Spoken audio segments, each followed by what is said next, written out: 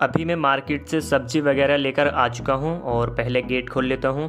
सो so, कैसे हैं आप लोग? आई होप कि आप सब अच्छे होंगे। सो यार गाइस मैं यहाँ पर अपने स्लीपर वगैरह उतार देता हूँ। और जो ये सब्ज़ी वगैरह मेरे हाथ में है इसको मैं रख देता हूँ किचन से। बैंगन और टमाटर वगैरह ले आया हूँ मैं मार्केट से तो मुझे बनाना है डिनर में। सो अभी थोड़ा मैं मूड फ्रेश वगैरह कर लेता हूँ। अभी मैं आ चुका हूँ छत पे। और मैं दिखाने वाला हूँ आपको दो छोटे छोटे बच्चे जो कि कैरम बोर्ड खेल रहे हैं। सो जैसा कि गाइज़ आप यहाँ पर देख रहे हैं, ये बहुत ही इंजॉयफुल अच्छे तरीके से बहुत ही शांतिपूर्वक यहाँ पर ये कैरम बोर्ड खेल रहे हैं। और मैंने दोनों की सीट देखी तो इन्होंने ईंटों से अपनी चेयर वगैरह बना रखी है और बहुत ही मस्ती से ये कैरम बोर्ड खेल रहे हैं। तो इनके बारे में आप कमेंट करके बता सकते हैं। और अभी मैं चलता हूँ अपने रूम की और एक बार टाइम देख लेते हैं। पाँच बज के तैंतीस मिनट हो चुके हैं और अभी मैं स्टार्ट करने वाला हूँ अपने फिजिक्स के, जो मैं लेक्चर लेता हूँ पी डब्ल्यू पे।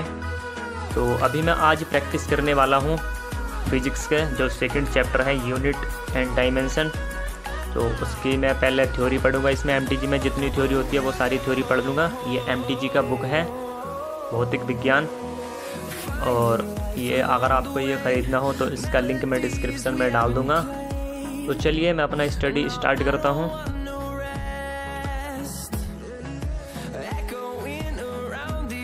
चैप्टर वगैरह निकाल लेता हूँ मुझे आज फ़र्स्ट चैप्टर की तो मैंने क्वेश्चन प्रैक्टिस वगैरह कर ली थी।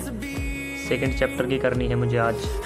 यूनिट डायमेंशन लास्ट ब्लॉग का एक कमेंट है हेलो ब्रोदर मैं तो यकीन हिंदी मीडियम से नीट 2023 की प्रिपरेशन कर रहा हूँ बट मेरा बैकलॉग ज़्यादा हो गया है। अब कैसे मैनेज करूँ?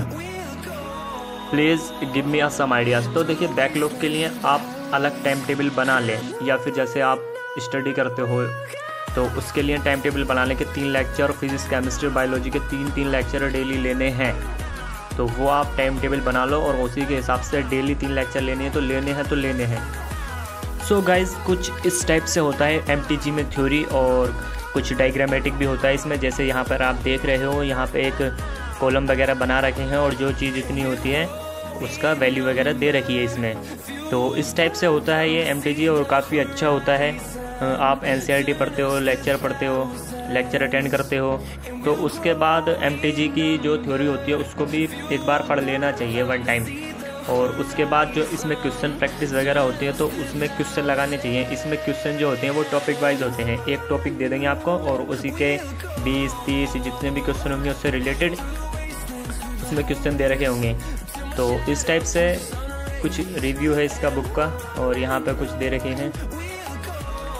तो यहाँ पे कुछ समीक्षा सूत्र फॉर्मूले वगैरह दे रखे हैं।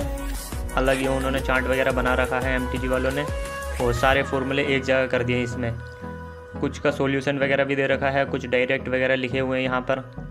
तो इस टाइप से कुछ रिव्यू है इस बुक का, और अभी दिखाने वाला हूँ मैं आगे।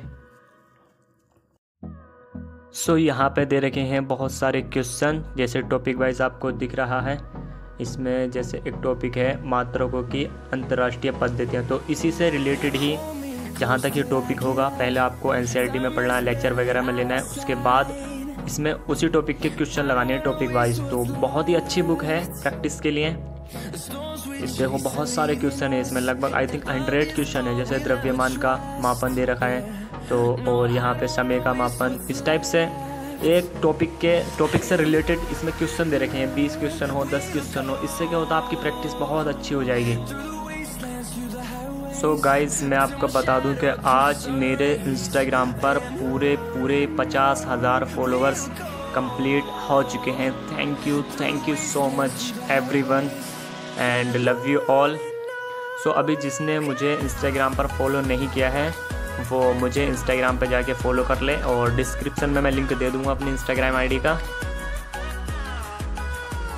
सो गाइस फाइनली मेरी रीडिंग ऑलमोस्ट कंप्लीट हो चुकी है और देखो प्रैक्टिस करने के लिए इस तरह का एक ओ एम आर सीट ले लेना और तीस रुपये का मिल जाएगा ओनली और इस टाइप से देखो मैंने काफ़ी प्रैक्टिस किया हुआ है बायोलॉजी वगैरह का ज़्यादा किया था। और केमिस्ट्री वगैरह का तो इसी में अपना प्रैक्टिस करता हूँ। जैसे मुझे पचास क्वेश्चन लगाने तो मैं एक से लेकर पचास तक कर लेता हूँ। फिर उसमें क्या होता है, पहले मैं क्वेश्चन लगा लेता हूँ। क्वेश्चन लगाने के बाद जो आंसर की होती है, उसमें चेक करता हूँ, पहले का ए है बी है या फिर जो गलत होता है, उस पर गलत का टिक लगा देता हूँ। और फिर मैं काउंट करता हूँ, मेरे पचास में से कितने सही गए लाइक बीस सही गए, तीस सही गए। फिर जो गलत गलत हुए होते, सही हुआ, जो ठीक होते हैं मेरे, उनको मैं साइड करके लेकिन जो गलत होते हैं, उनको मैं देखता हूँ, जाके फिर से एन में ढूंढता हूँ लेक्चर में ढूंढता हूँ। और बाकी सारे क्वेश्चन जितने गलत होते हैं, उनको ढूंढ लेता हूँ कहीं ना कहीं। तो इस तरीके से मैं कुछ प्रैक्टिस करता हूँ। तो चलिए मैं स्टार्ट करता हूँ अपनी प्रैक्टिस पिछले ब्लॉग में जो मैं कमेंट ठीक से पढ़ नहीं पाया था, वो मेरे समझ नहीं आया था। तो उन्होंने फिर से कमेंट किया, भैया, मैं बोल रही थी कि मैं अभी एलेवेंथ क्लास में हूँ एंड मेरा आकाश इंस्टीट्यूट का सब्सक्रिप्शन ले रखा है, जो कि इंग्लिश मीडियम में है और मैंने अपनी जो टेंथ की पढ़ाई की है, वो हिंदी मीडियम से कंप्लीट की है और अभी भी हिंदी मीडियम से हूँ। बस मेरा क्वेश्चन ये था कि अपनी स्टडी कैसे करूँ? हिंदी या इंग्लिश? एग्ज़ाम कौन से सब्जेक्ट में देना है? मतलब कौन सी लैंग्वेज में देना है? मैं दूँ क्योंकि कोचिंग इंग्लिश मीडियम में है और स्कूल हिंदी मीडियम में प्लीज़ बताइए ना भैया, मुझे तो समझ नहीं आ रहा है। तो देखो, सबसे पहले आपको अपने अंदर देखना है कि मैं समझ किस चीज़ से ज़्यादा पा रही हूँ इंग्लिश में या फिर हिंदी में। आपको आपसे बेहतर कोई नहीं जान सकता। सबसे पहले आपको ये देखना है, जो मैं रीडिंग करती हूँ, वो इंग्लिश में भी कर पाती हूँ, या फिर जो फिज़िक्स वगैरह के क्वेश्चन हैं, वो मैं इंग्लिश में भी समझ पाती हूँ। अगर इंग्लिश में भी समझ पाते हो तो बहुत अच्छा है, आप इंग्लिश में कर लो। अगर वो चीज़ें नहीं समझ आ रही हैं इंग्लिश में बुक्स इंग्लिश में नहीं समझ आ रही है तो आप हिंदी में भी कर सकते हो। सो फाइनली गाइज़ अगर आपको ये व्लॉग अच्छा लगा हो तो वीडियो को लाइक कर दें, और चैनल को सब्स